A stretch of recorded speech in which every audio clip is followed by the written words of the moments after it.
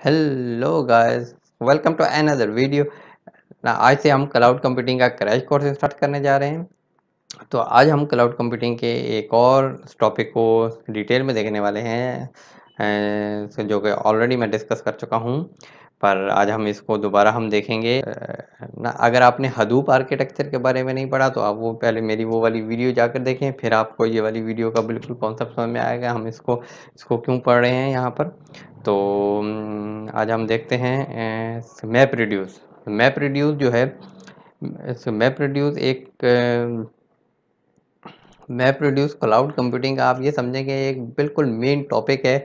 इसके बगैर जो है, क्लाउड कंप्यूटिंग जो है, वो बहुत नामुमकिन है। क्लाउड कंप्यूटिंग का मेन जो टॉपिक है, वो मैप रिड्यूस है। तो मैप रिड्यूस में जो है, ये एक basically this is a Hadoop architecture ये एक हदूप आर्किटेक्चर का है।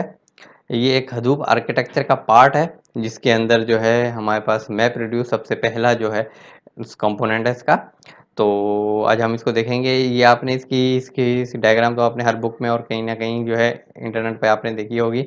तो हम इसको सिंपल वे में देखेंगे, इस मैप रिड्यूस है क्या और इसका पर्पज़ क्या और क्यों यूज़ करते हैं। और मैप रिड्यूस जो है बेसिकली जो है, हमारे पास डिस्ट्रीब्यूटेड एनवायरनमेंट में जो है डिस्ट्रीब्यूटेड प्रोसेसिंग प्रोवाइड कर रहा होता है।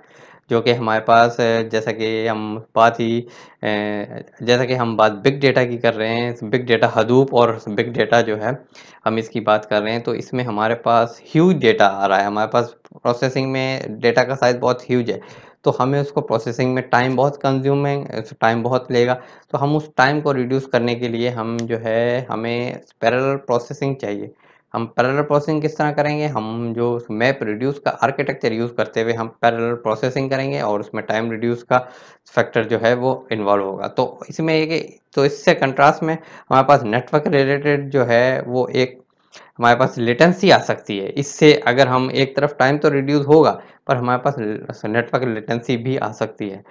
तो वो हम आगे देखेंगे, हम के जो है, इसमें हम इसको किस तरीके से मज़ीद मैप रिड्यूस को भी फिर आगे एनहांस करते हैं। इसमें डिफरेंट डिफरेंट हैं कि हम क्या चीज़ ऐड करते हैं कंबाइनर फ़ंक्शन ऐड करेंगे आगे चल के। तो अभी फ़िलहाल हम हम इसमें यहाँ देखेंगे कि हम मैप रिड्यूस जो है हमारे पास मैप रिड्यूस किस तरह काम कर रहा होता? है मैप रिड्यूस जो है, हमारे पास मैप रिड्यूस में दो कम कंपोनेंट होते हैं। हमारे पास एक होता है मैपर दूसरी तरफ़ रिड्यूसर मैपर का क्या काम होता है? वो सिंपली आपका कुछ भी नहीं करता। वो आपका सिर्फ़ एक ना इनपुट आ रहा है। इनपुट आपका बहुत ह्यूज डेटा का इनपुट आपका डेटा आ रहा है। उसको डेटा को लेता है। उसको डिफरेंट चंक्स में डिवाइड करता है और उस पर पैरेलल प्रोसेसिंग अप्लाई कर देता है। तो उस उसमें वो आपका मैपर फ़ंक्शन आपका अप्लाई हो रहा होता है फिर वो उसको मर्जर में फिर आपको सॉर्टिंग करता है वो आपके डेटा का फिर वो वही वो जो इनपुट जो मेपर का आउटपुट है वो आपका रिड्यूसर का इनपुट हो, होता है। वो फिर आपका रिड्यूसर हमारा जो वो है ना एच डी एफ़ एस पे स्टोर हो रहा होता है जो हमारा स्टोरेज है स्टोरेज डिवाइसेस है स्टोरेज है ये हदूब का ये भी हदूब का पार्ट है।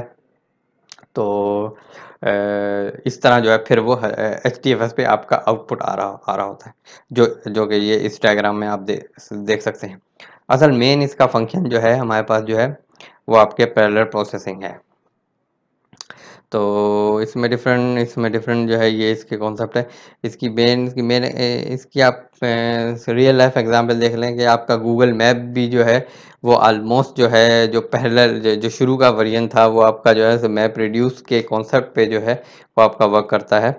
तो इसमें डिफरेंट डिफरेंट एप्लीकेशन है फिर हम नेक्स्ट वीडियो में इसमें चल के देखेंगे। इसकी एग्जांपल सॉल्व करेंगे तो हम इसकी देखेंगे इसकी एप्लीकेशन इसकी एप्लीकेशन कहाँ कहाँ होती है। So i hope you guys like the video. So if you like the video so please give this thumbs up